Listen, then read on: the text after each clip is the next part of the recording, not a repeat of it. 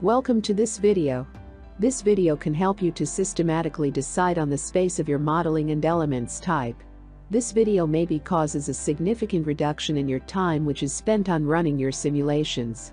Imagine that we want to model a forming process like hydrostatic bulge test. At the start of our simulations we have lots of choices and we will think about, is my model three-dimensional? Can I use shell or membrane for my model? What about two-dimensional modeling? If I use beam or truss elements my model will be really simple. To receive a complete guide that which of these modeling space is the best for your case please keep watching this video. The first step to choose the appropriate elements for your simulations is to decide that you need to employ solid elements, or you can use the structural elements. Solid elements contain 3D and 2D elements and all the plane stress, plane strain, and axisymmetric elements are 2D solid elements. Structural elements contain truss, beam, shell, and membrane elements. Despite the solid elements, structural elements significantly reduce computational cost. But we cannot use structural elements unless in certain circumstances that we are going to discuss in continue. In summary if the requisite circumstances are satisfied in our problem, we definitely use the structural elements to reduce the computational cost. Rather than simulation cost, in most of the cases, creating the geometry of the model by structural elements is much easier. When can we use shell elements? If in our structure typical dimensions are at least 10 folds bigger than the thickness, maybe we can use shell elements. In other words, we can use a surface in the middle of the structure instead of the 3D structure. Please note that in shell elements bending of the cross-section is also considered. The next requisite of using shell elements is the plane stress condition. Imagine that the z-axis is normal to the shell plane. Out-of-plane components of stress should be zero. Please note that these two components which show transverse shear are zero only in thin shells. In thick shells formulation, these components are non-zero. But what are typical structural dimensions? The most general dimensions that we should consider are the distance between supports or point loads. In curved structures like vessels and cylinders, we should take into the account the radius of curvature as the typical dimension and compare it with the thickness. The distance between stiffeners or gross cross-section changes is also another typical dimensions.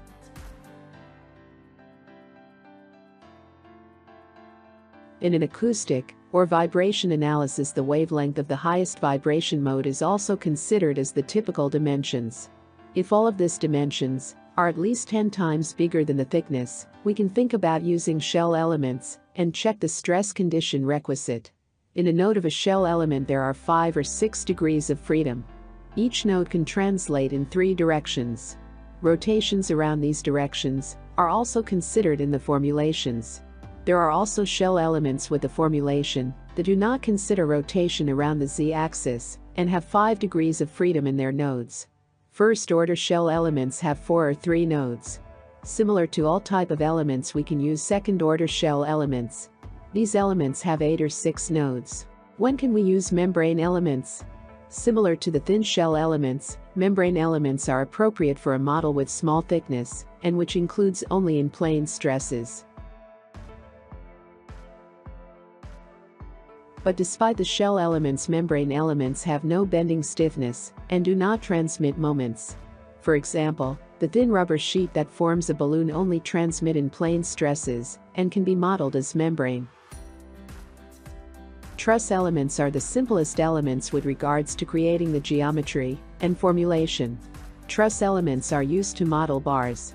A bar is long and slender structural member that can transmit only axial force. No moments or forces perpendicular to the centerline are supported in a bar. So the truss elements support only normal stress along the centerline and five remained stresses are zero the truss elements need least computational costs among all elements types. We can use 2D or 3D truss elements. In 2D truss each node has 2 degrees of freedom in two directions, while in 3D truss elements, each node can move in three directions.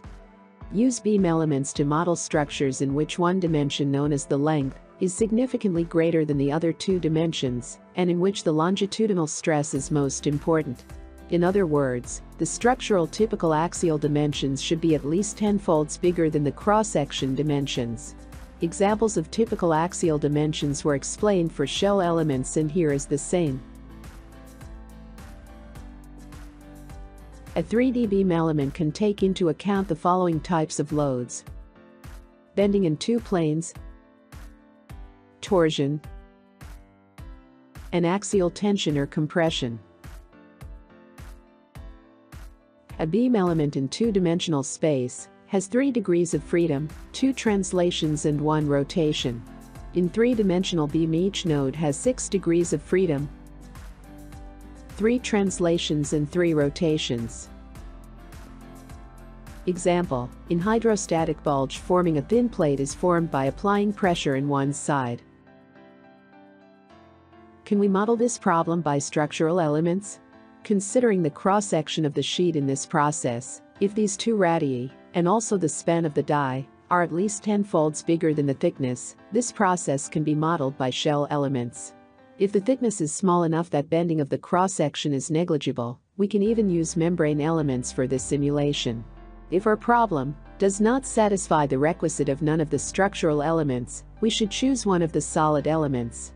At first, we check the possibility of using two-dimensional solid elements because they are more efficient than 3D elements.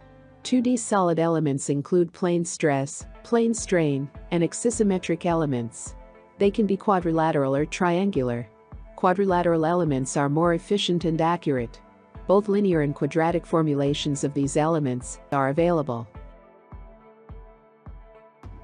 If the geometry, materials, and boundary conditions do not change along the third direction we can use one of the plane stress or plane strain elements. If rather than the above conditions, the out-of-plane stresses are zero the problem is plane stress. But how to check these stresses? At first, we can check these terms on the surfaces. If they are zero at the surfaces, we check whether we can extend these assumptions in the whole section or not. For example, in tensile test of a thin sheet, out-of-plane stresses are zero in top and bottom surfaces. As the thickness is small, we can extend these assumptions to the whole section and assume plane stress condition. So, small thickness is crucial for plane stress condition. What is difference between plane stress and plane strain problems? In both of these types of problems the geometry, materials, and boundary conditions do not change along the third direction. But while in plane stress out-of-plane stresses were zero, in the plane strain problems the out-of-plane strains are zero. Usually this assumption is true when the length of the parts in the third direction is remarkably bigger than in plane dimensions.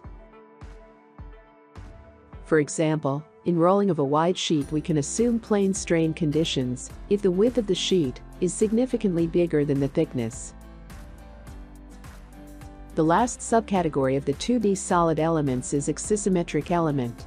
When the geometry, materials, and boundary conditions are symmetric around an axis, we can use axisymmetric elements. In this case all the parameters do not depend on the tangential direction. These components of strain and stress are zero, for an axisymmetric problem we should model one half of the cross-section and use 2D elements to discretize it. Can a problem with asymmetrical load be modeled using axisymmetric elements? If you are interested in this type of modeling, please watch this video. Let's investigate our example one more time. Can we use 2D elements to model hydrostatic bulge forming? As the part, material, and boundary conditions are symmetric around the axis we can use axisymmetric modeling for this process. But as mentioned earlier, this problem can also be modeled by shell elements. Can we use both of these simplifications in one simulation? Please watch this video to find out the response.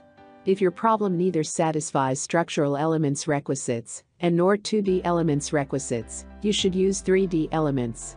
Tetrahedral, hexahedral, and wedge are three types of the 3D elements. All of them can be first order or second order. Please note that the three-dimensional elements are the most general elements with the least assumptions and can model all the previously mentioned problems. But they have the most computational costs among various types of elements. A 3D element has three translational degrees of freedom in its nodes.